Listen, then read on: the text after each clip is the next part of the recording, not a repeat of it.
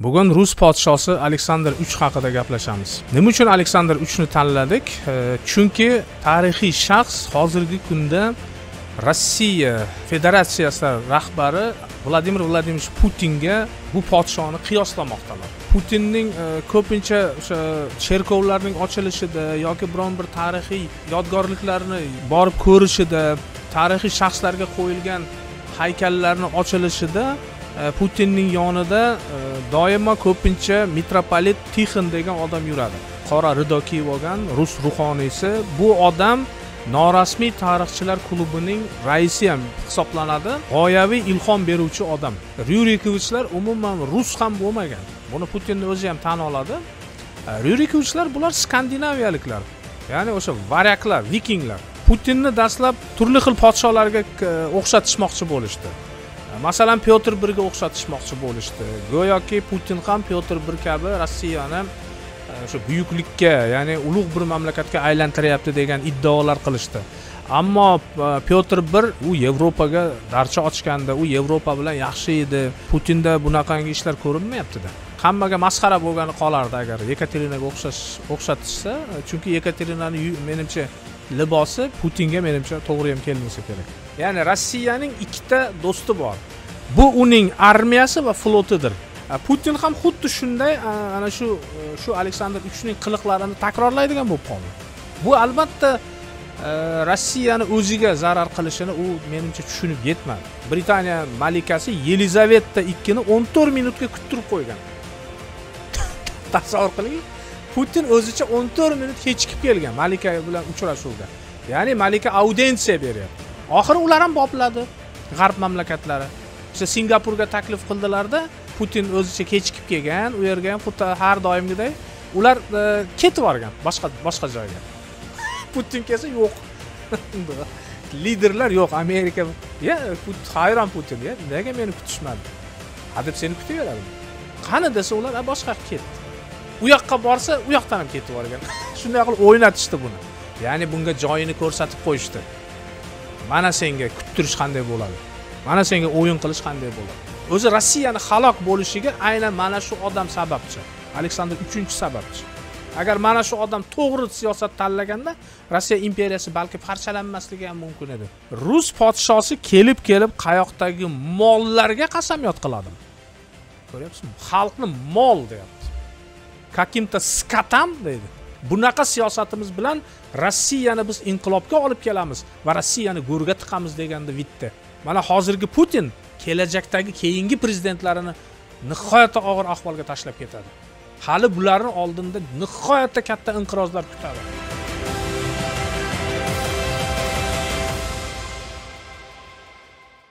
Assalomu alaykum. Bugun rus podshosi aleksandr uch haqida gaplashamiz. Nima uchun aleksandr uchni tanladik? E, chunki e, bu e, tarixiy shaxs hozirgi kunda rossiya federatsiyasi rahbari vladimir vladimirovich putinga bu podshoni qiyoslamoqdalar.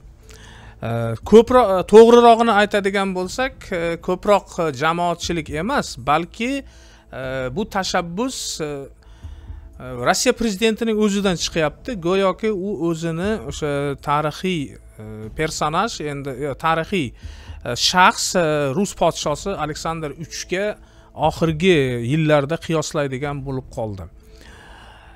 Albatta putin tarixga juda qiziqadi buni hamma biladi. Uni yonida agar e'tibor bergan bo'lsalaring ko'pincha nimalar yuradi? O'sha medinskiy E, yoki boshqa tarixchilar bilan juda ko'p gaplashadi. Umuman e, ba'zi bir forumlarda juda ko'p uchrashuvlarda e, konferensiyalarda juda ko'p tarixiy faktlarni misol keltiradi. Vladimir vladimirovich putin. Mana yaqinda ko'rgan bo'lsalaring o'sha amerikalik jurnalist taker bilan intervyu qildi suhbat qildi. O'shanda ham vladimir putin o'zining tarixiy bilimlarini namoyon qildi. Umuman agar e'tibor bergan bo'lsalaring e, putinning e, ko'pincha o'sha cherkovlarning ochilishida yoki biron bir tarixiy e, yodgorliklarni borib ko'rishida tarixiy shaxslarga qo'yilgan haykallarni ochilishida putinning yonida doimo ko'pincha mitropolit tixin degan odam yuradi. O'sha Э, qora rido kiyib olgan rus ruhoniysi. Bu odam norasmiy tarixchilar klubining e, raisi ham hisoblanadi. E, g'oyaviy ilhom beruvchi odam. Ya'ni putinga juda ko'p o'sha g'oyaviy ilhom berib turuvchi odamlardan bittasi. E, dastlab e'tibor bergan bo'lsalaring e, putin va rossiya hukumati e, o'zlarini doimo kiyev rusiga borib taqashni yaxshi ko'radilar. Go'yoki endi bu faqat bu putindan boshlanmagan bu o'zi azaldan boshlangan. Bu o'sha pyotr bir davridan hatto undan oldin e, yekaterina ikkinchi davrida e, va boshqa podsholar davrida e, rossiyani doimo kiyev rusi bilan bog'lab keladilar. Rus tarixini go'yoki o'sha bir ming ikki yuz yillik e, salkam o'n ikki asrlik tarixi bor degan ma'noda bular doimo rus e, tarixini kiyev rusi bilan e, taqqoslab keladilar. Aslida bu shunday bo'lganmi degan savol tug'iladi. O'zi kiyev rusi va rossiya bular o'rtasida qanaqangi aloqalar umuman qanchalik bu haqiqatga to'g'ri ular o'zi bitta davlatmi degan savol tug'iladi. Hozir mana ukrainaliklar umuman yevropa tarixchilari va boshqa dunyo tarixchilari aslida bu ikkita davlatchilik o'zi mutlaqo boshqa boshqa ekanligini ko'p e, isbotlayaptilar. Masalan e, kiyev rusi bu umuman boshqa davlat bo'lgan. Rossiya imperiyasi u mutlaqo boshqa hududlarda e, paydo bo'lgan degan e, o'sha qarashlar judayam e, kuchli hozir rivojlanib ketdi. Mantiqan olib qaraydigan bo'lsak kiyev rusi hududlari bilan rossiya imperiyasi yoki hozirgi rossiya federatsiyasi hududlari deyarli hech qanaqangi bir biriga e, mos emas. U kiyev rusi umuman boshqa tarafda rossiya imperiyasi umuman boshqa tarafda. E, mana o'sha putin dastlabki yillarida yo dastlabki emas o'sha keyingi o'sha ikki minginchi yillarda e, rus knyazi kiyev knyazi ya'ni kiyev rusining knyazi vladimirga juda katta haykallar qo'ydirdi.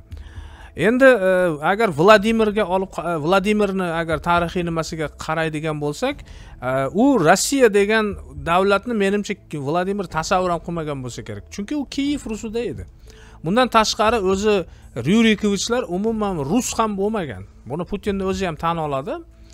Ryurikovichlar bular skandinaviyaliklar. Ya'ni o'sha varyaklar vikinglar. Ular mutlaqo e, o'sha rus e, xalqiga umuman aloqasi yo'q odamlar aslida. Ularni kelib chiqishi ham e, skandinaviya o'sha shvedlar norveglar daniyaliklarga borib taqaladi. Endi tarixiy buzish haqiqatdan ham juda yam ko'p uchrayapti nimada? O'sha hozirgi o'sha rossiya hukumati davrida. Masalan vladimir medinskiy degani bor madaniyatini boshqaradi o'sha fan madaniyatni boshqaradigan odam go'yoki mana bundan bir bir necha yillar oldin e, germaniyada e, asvensim konslagerini ochilishi bo'ldi agar eslasalaring. E, asvensim konslagerini muzey sifatida ya'ni o'sha uni tarixiga bag'ishlangan bir nimada ochilish bo'ldida asvensimda endi asvensim lager azal o'sha gitler paytida tashkil qilinganku germaniya o'sha natsistlar germaniyasi davrida. Ana shu katta anjumanga ya'ni o'sha osvensimning o'sha muzeyini tarixiy nimasini ochilishiga putinni taklif qilmadilar. Ya'ni germaniya hukumati taklif qilmadi buni. Shunda albatta alam qilgan o'sha rossiya hukumati e, umuman rossiya o'sha hokimiyatidagi e, boyagi kuchlar e, albatta bu yerda putinning o'zini ham tashabbusi bo'lsa kerak. Go'yoki nemislarga endi to'g'ridan to'g'ri o'sha hozirgi olmonlarga Э, o'zining e'tirozini bildira olmasdan matbuot orqali mana shunday zaharxanda gaplar bilan chiqishlar qilishdi. Masalan vladimir medinskiy e, shunday deyapti intervyuda o'sha to'g'ridan to'g'ri e, televideniyada bo'layotgan e, to'g'ridan to'g'ri boyagi nimada? Ko'rsatuvda nemislarni haqorat qildi. Ya'ni asvensimning asvensimni nimasi ochilyapti ochildi dedi. Biz ular deyapti ya'ni avtorlari deyapti. Ya'ni o'sha konslagerni mualliflari ya'ni hozirgi olmon xalqiga go'yoki sen e, sizlar shu lagerni tashkil qilgansizlar deyapti. To'g'ri bular tashkil bularni bobolari tashkil qilgan. Lekin butun bir nemis xalqini sen muallif o'sha o'lim lagerini muallifi deb atashini o'zi e, siyosiy e, nekorrektnida siyosiy jihatdan bu to'g'ri emas edi bu gaplar. Э, undan tashqari go'yoki medinskiyni gapiga ko'ra osvensimni e, ozod qilgan e, rus soldatiga rus soldatiga hurmat e, ehtirom ko'rsatilmadi. Ya'ni u yerni ozod qilgan davlatni odamlarini chaqirilmadi bunga degan bir ta'na dashnomlar qildi. Va go'yoki u yerda ukrainlar taklif qilingan go'yoki konslagerni ukrainlar ozod qilgan degan bir ma'noda gapirdi. Aslida chuqurroq kirib qaraydigan bo'lsak osvensimni rostdan ham ukrainlar ozod qilgan o'zi aslida. Endi to'g'ri bu haqida hali alohida bir ko'rsatuvlarda aytib beramiz. Mana shunday nyuanslar bor. Rossiya hozirgi rossiya tarixchiligida juda ko'p bir falsifikatsiya ya'ni judayam ko'p o'sha soxtalashtirishga kirishib ketildi. O'zi soxta edi juda ko'p joyi soxta. Endi uni battar soxtalashtirishga urinishlar bo'lyapti. Э, putinni dastlab э, turli xil podsholarga e, o'xshatishmoqchi bo'lishdi. Э, masalan pyotr birga o'xshatishmoqchi bo'lishdi. Go'yoki putin ham pyotr bir kabi rossiyani e, o'sha buyuklikka ya'ni ulug' bir mamlakatga aylantiryapti degan iddaolar qilishdi. Ammo e, pyotr bir u yevropaga darcha ochgandi u yevropa bilan yaxshi edi. Masalan uni ittifoqchilari orasida o'sha angliya gollandiya va boshqa davlatlar bo'lgan pyotr bir e, judayam o'sha integratsiyani yo'lga qo'ydi yangi novatorlik ishlarini olib keldi. Putinda bunaqangi ishlar ko'rinmayaptida. Putin hech qanaqangi bir yangilik emas. Putin qaytanga o'sha e, u despotizmga to'g'ri pyotr bir ham despot edi. Ularni o'xshash tarafi shu e, menimcha o'zidagi boyagi nimalarni qonga botirish isyonlarni mana pyotr bir ham streletslarni qonga botirgan boshqa isyonlarni qonga botirgan. Mana shuning uchun pyotr bir bilan taqqoslash sal nimadan qoldi e'tibordan qoldi bu menimcha putinni o'ziga ham yoqmadi shekilli e, va buni sal chekkaroqqa surdi keyinchalik pyotr e, yekaterina ikkiga ham o'xshatish o'xshatishdi e, nimani? E, putinni. Putinni o'zi ham bir kuldi e'tirof berdi bunga. Endi yekaterina bilan men dedi qandaydir gender nimaligi ham to'g'ri kelmaymizku dedi. Men erkak kishi bo'lsam u ayol kishi bo'lsa. Э, hammaga masxara bo'lgani qolardi agar yekaterinaga o'xshash o'xshatishsa chunki yekaterinani menimcha libosi e, putinga menimcha to'g'ri ham kelmasa kerak. Ko'rsatuvni davomini pulli obuna orqali ko'rishingiz mumkin. Havola izohda